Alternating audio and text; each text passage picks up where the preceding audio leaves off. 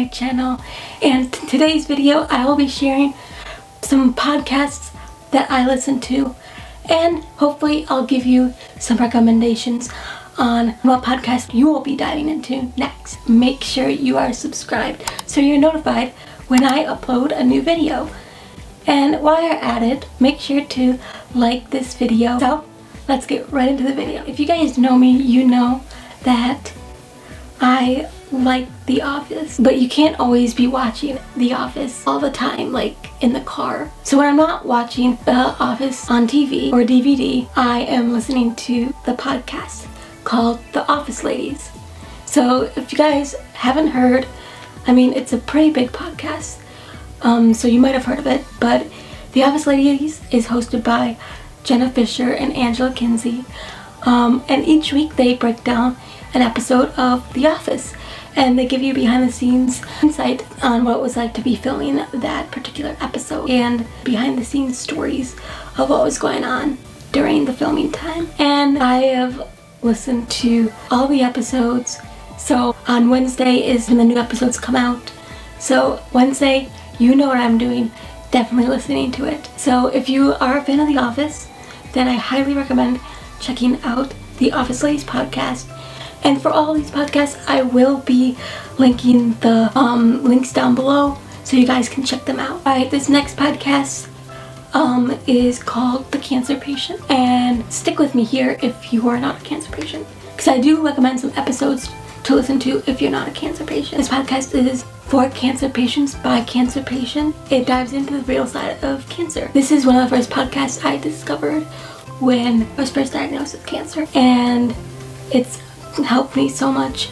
There's episodes about skin anxiety, support groups, AY cancer, relationships, etc. And even if you're not a cancer patient, I'm sure this will give you little insight on what someone's going through. Um, and I say little insight because you actually can never know what it's like uh, unless you're the patient. Going along with the cancer patient, um, there are two other podcasts I want to mention related. One is called Thanks Cancer. It's run by two friends who share stories about cancer. And the episode I recommend, if even if you're not a cancer patient, called Holiday Cancer. So not only does it discuss what during the holidays if you're a cancer patient, but it also talks about how friends can help during the holidays if they have a loved one or know someone close to them that has cancer. Um, it's really a good episode to listen to. The final like cancer related one I'm going to recommend is called Spilling Tea with the G's. It is run by Steve and Nick G. They interview people from the young adult and adolescent cancer community and they also talk about the amazing work they have done um, to help people in the AYA community. So I highly recommend the episode that they did called The Power of Friends. It really discusses the personal aspect of friendship and how important it is for friendship during someone's cancer journey and how you can be a better friend to someone with cancer. And it really dives deep into some things that you may not even consider. The next podcast I would highly recommend you listen to is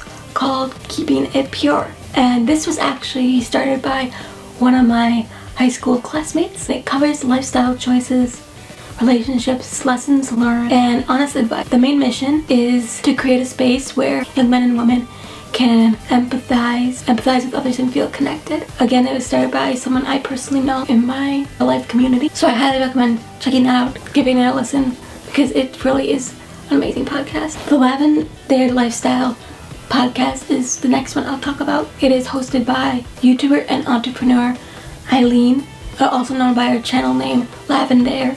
And in this podcast, she shares weekly inspiration and creativity endeavors. And even though she doesn't continue this podcast anymore, there's so many episodes that you can listen to. I mean, I haven't personally even listened to all of them. So if you really enjoy creativity, you want to like embark on creativity as a journey, revive yourself in the creative process, definitely go listen to that podcast because it's really inspiring.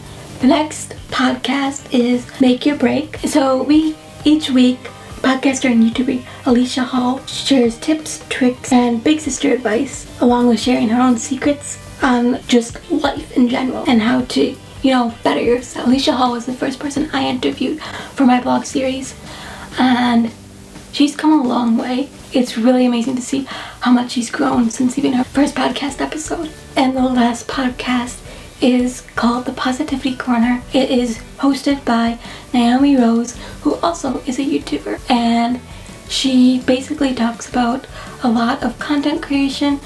She started her podcast really recently. She started it on October 11th and she only has a few episodes out, but I can already tell it's going to be amazing. And Naomi's such a sweet girl. I really think that her podcast is gonna take off. Heck, considering all the work she's done with YouTube and her Instagram, there's no doubt that it's gonna be amazing as she continues to grow. And I'm really looking forward to future episodes. And because I'm doing a video on podcasts, I could not help myself but do a little self promo. I also run my own podcast and it's called Brianna's Bandwagon, the podcast.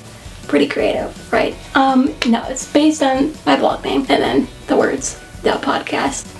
But if you haven't listened to it or never heard of it, make sure to go check it out. If you do listen to it, make sure to give it a review and it really helps me and others find it on whatever listening platform. So, thank you guys so much for watching and make sure to check out all the links in the description box below, everything I mentioned. Make sure to hit that like button and don't forget to subscribe. And I'll see you guys in my next video.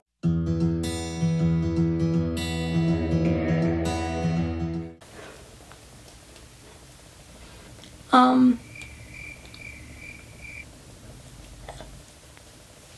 and the, and the episode I recommend, and don't, I, oh, so, because I'd say it's pretty awesome. That sounds so narcissistic.